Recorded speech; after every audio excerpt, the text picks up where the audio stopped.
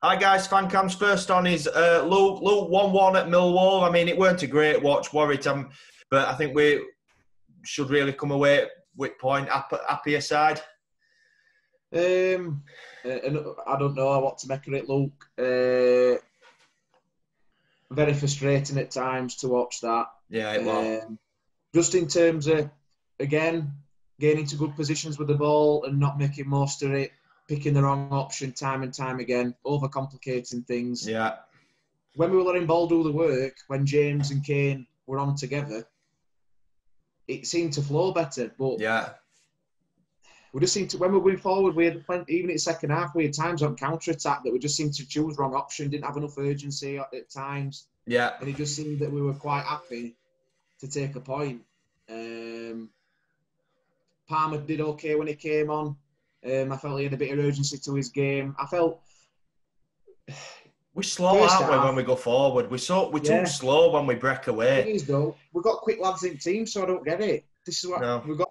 We've got a lot of pace inside, but we seem to slow down when we've got the ball. Yeah. Um, first, let's break it down. Then first half, I thought we we, we should, the structure was really good. I felt we dealt with their threats quite well.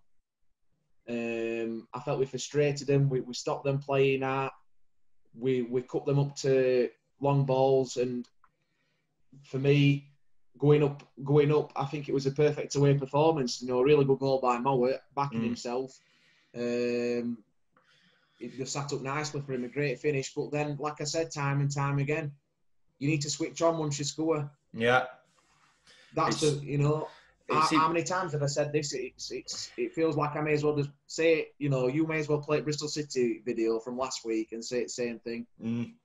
It's poor. I mean, it's poor, isn't it? Really, when you go one 0 up and then like immediately conceding, especially like we, we took lead, best time to take lead just before half time, and then still manage to, to go in. Yeah, completely avoidable goal as well, Luke. Why yeah. is Andersen just not if he uses right, it's like it's it were harder for him to to give them a corner than anything else, and he's managed yeah. to do that.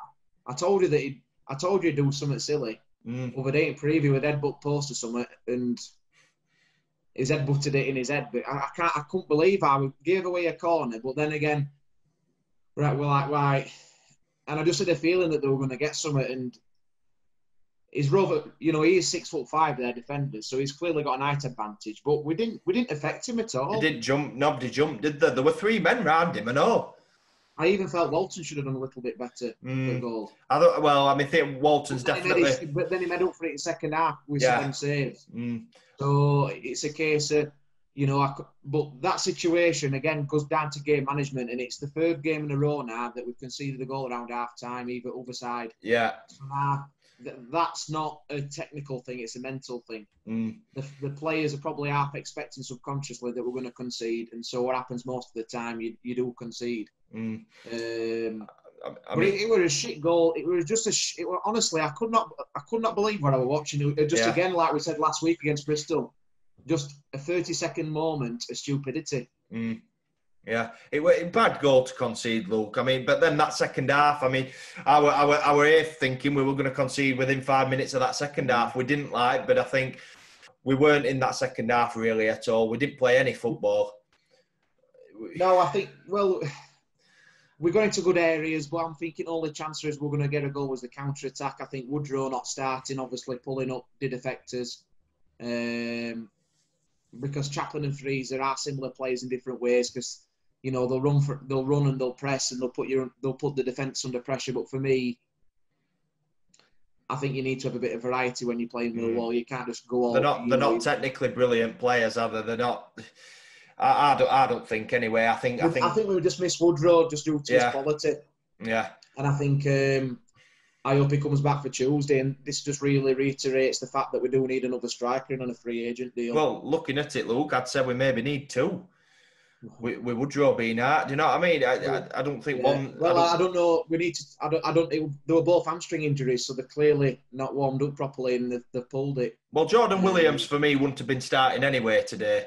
Um, no, I mean, I mean, the only thing is, I'm thinking for long term. I don't want him injured. You know, it's not nice mm. for a hmm. player to be injured. And I felt, I felt, I felt Oduor should have started anyway. yeah, yeah, yeah. Back. I don't think Jordan Williams should have started just for the pure basis that if Sollbauer was fit, then he comes in for Williams, and Mm. I think Oduor and Brittain both deserve to start. Again, I was frustrated with Oduor at times because he had plenty of ball and just didn't have that end product. Yeah, that, that's his Um, problem at minute. That's his problem as end product. But uh, I think we'd have took. We, we obviously we said it preview. We'd have took point like before, but it's just you want to see a bit of bit of urgency in us. Do you know what I mean? Yeah, Yeah. yeah, and we, we've we've not really seen any of that. A bit in first half, but We second were, we were half. bitting and batting, but it were kind of, I think, they were confusing me because there were times we were going forward and there were times we were sitting back, slowing game down. So I, I did Yeah. think, I think when James were on pitch, there were that calming influence. And I think as soon as he came off, Millwall came into game after that. Mm. We seemed to open up in midfield. I mean, Thomas came on, did absolutely nothing whatsoever. Oh. His touch, I mean, for, his touch I'm when he was running forward. with, for corner. From there, I, I'm not going to speak about Thomas because I'll, you know, I'll get stick for what I'll say about him. So I'm not going to mention him. Um, I think Palmer did okay when he came on. Kane, for me, he should have started instead Yeah, of Simoes. yeah, He's going to start Tuesday. I mean, he didn't do much when he came on, but for me, you can't just start players because they scored a game before. That's my opinion. You look Mm. at the it's a different it's a different scenario. You set up differently. So I, I didn't mind the starting lineup. I just didn't think that we were ever going to win the game. I just didn't Mm. think we were ever going to win the game. But again, we've been in front, Luke, and we've you know we've we've conceded. But then it's second half, Millwall at better side. If I'm being honest, I Yeah. um, they created more. Wallace got into the game more. Walton's made three three really good saves from close range to keep us in it. Um, we've had to defend well at times. So apart from that little error, defensively we've been fine. But again, going forward, we just seem to lack that urgency and that final Mm. pass. We're trying to overdo everything every every single time. We're just trying Yeah. to like we're dawdling on it or we're panicking. There doesn't seem to be a, an in between. Mm. Um, so hopefully this new lad can come in and influence us, and you know, good, good, good time to start on Tuesday. Like I said, there are some good things to take from it. I yeah, think in first half we seen we, we, we were structured well up until their goal, uh, and in the second half, even defensively, we looked okay, but they caused us more problems than we did in that second half, especially. So on that basis, I'll, I'm I'm taking a point all day long because we weren't at races of fully 100% there today. Mm. Um, but now we've got now we've got coaching. Now we need to get focusing on getting a striker in. Oh, Uh, to- it's clear man. to see. It's clear to see, yeah, because a target man today would have been the ideal scenario. And even though I felt Frieser had a decent game when he were involved in it, because I felt he, he did some nice little layup balls and he got some good free kicks in certain places, and he does he does try, and Yeah, he does run, he does run and run and run. For me, he's not an out and out striker. Um, and you could see when Millwall brought Zohore on in second half, the the change that that had. You you know, I think his first touch nearly scored with Eder. mm. So getting a big lad on is always a threat for an opposition defence. But you know, two difficult places to go to Millwall and Stoke. I know it's not ideal. I'm gonna obviously give this new fella a chance. He had a really good record where he has been before, and I hope he's seen enough to to come in. Um, I just think we missed that pace on the ball. I think that was the way to get round Millwall. it's- we seem to get sucked into their game a little bit at times in middle at Park. Mm. Yeah, we, we- we we never looked like when we went forward we were ever going to do all we it, and and that's becoming a, a thing now. pieces.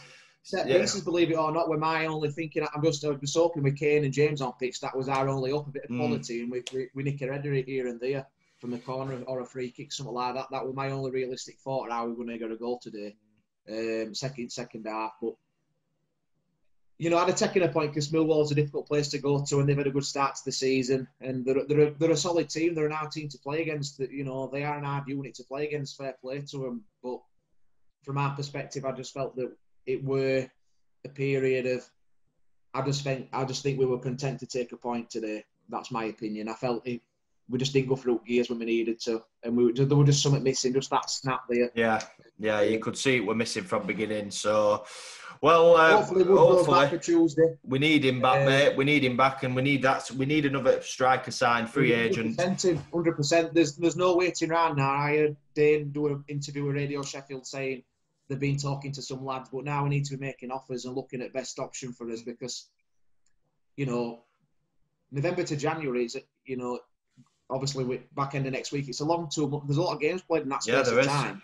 Mm. And if you can get if you can get a if you can get a striker to come in and help Woodrow out, for me Chaplin shouldn't be up front anyway. I like him. I prefer him up left coming inside. Mm. Um, I don't. I think he's lost up front at times against certain oppositions. But for me, like you said, Luke, there's a lot of games to be played in that space of time. If we can get a lad in now, just to strengthen the squad out, because I think That's yeah. That that that That's that's what we it. That's it. Games games coming up, and and obviously if if Woodrow he's a star striker, you look at the strikers below him. They're all could see more or less. when- yeah, yeah, when you knew, you could see impact it had. As soon as we knew that Woodrow were injured, the fear among the fans that he weren't playing. yeah. And that, that, that Um, yeah, you should always have that that backup striker, or not necessarily a backup striker, somebody who's a bit Somebody to come different. Yeah. Somebody, somebody who's different who can give you a different, Yeah. you know, mindset going into the game. And all sub strikers, you know, Chaplins, Frieser, Schmidt. You know, they're, They're all goal scorers, they're, they're also well. I'm, I'm not saying they're not goal scorers. Yeah, yeah, yeah. And I, we, I said it in stream. Your favourite quote: "God loves a try." They said it like they were. They were saying Chaplin had a really good game, and I was like, well, he's put. What's he done apart from put his centre back and work, work hard? Yeah, you His can't knock his work. Yeah, Yeah, but his quality were lacking. That's what you know. That you know that's what needed to be said. His work Mm. rate were there, and I, and I do like Chaplin for that. And I, you know I do like him as a player at times. but Yeah. Other times as well, he were choosing wrong options Mm. every single time. So on that aspect, that needed to be pulled up. But going back to the striker situation, Luke Woodrow needs needs somebody to. We need somebody to come in. For me, you need you always need your top two main strikers, and then you can work around it yeah. if you've got other options. Um, but we need somebody in back end of next week at least, Mm. just for next weekend's game. You know, QPR might be too soon, but at least just be asking people now and getting people down on trial for a week and seeing what new coach thinks of them. Yeah. Um, Well, um, second point, Luke, because you know, like we said, we weren't hundred percent today. I just felt that we were a bit off it at times, um, and it's a tough place to go to. But hopefully, something for hopefully coach has seen enough to build on it, and we can, you know, QPR's going to be another tough game. They've had another decent start, um, but I think we might get something against QPR because they like to play football, and I think that might that might suit us better. mm, well, I, I should hope so, mate, because that first win needs to come. I- You know what I mean? There's only us and Wycombe now, um, and I, I don't know if Wycombe lost actually late on at Norwich.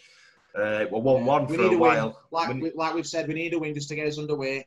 But we've been in three winning positions in the last three games, haven't we? That could have been nine points. That could. I would just. I was going to say that to you. Yeah, yeah. They've lost Wycombe 90, 91st minute at Yeah. Norwich. But bless them. Uh, We'll keep but- going. We'll keep trying. It's going to come.